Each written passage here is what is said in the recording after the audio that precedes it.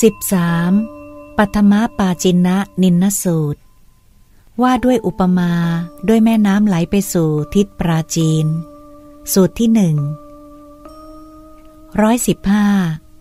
ภิกษุทั้งหลาย แม่น้ำคงคาไหลไปสู่ทิศปราจีน บ่าไปสู่ทิศปราจีน หลากไปอยู่ทิศปราจีน แม้ฉันใด ภิกษุก็ฉันนั้นเหมือนกันเเมื่อเจริญอริยมรรคมีองค์แปด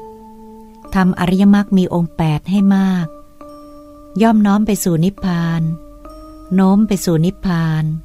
โอนไปสู่นิพพาน ภิกษุเมื่อเจริญอริยมรรคมีองค์แปด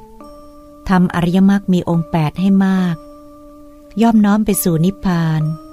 โน้มไปสู่นิพพาน โอนไปสู่นิพพานอย่างไร คือภิกษุในธรรมวินัยนี้หนึ่งเจริญสัมมาทิฏฐิอันอย่างลงสู่อมตะ มีอมตะเป็นเบื้องหน้า มีอมตะเป็นที่สุด ถึง 8. เจริญสัมมาสมาธิอันอย่างลงสู่อมตะ มีอมตะเป็นเบื้องหน้า มีอมตะเป็นที่สุด ภิกษุทั้งหลาย ภิกษุเมื่อเจริญอริยมรรคมีองค์แปด ทำอริยมรรคมีองค์แปดให้มาก ย่อมน้อมไปสู่นิพพาน โน้มไปสู่นิพพาน